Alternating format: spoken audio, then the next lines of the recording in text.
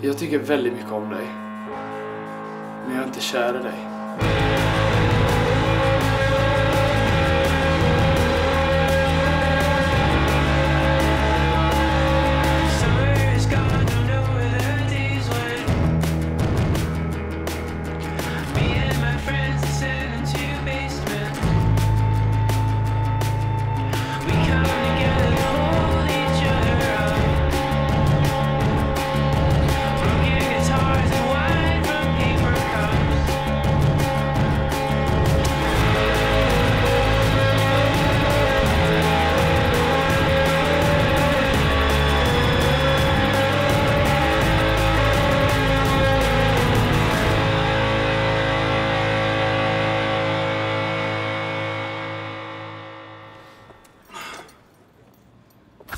Det där känns lite onödigt.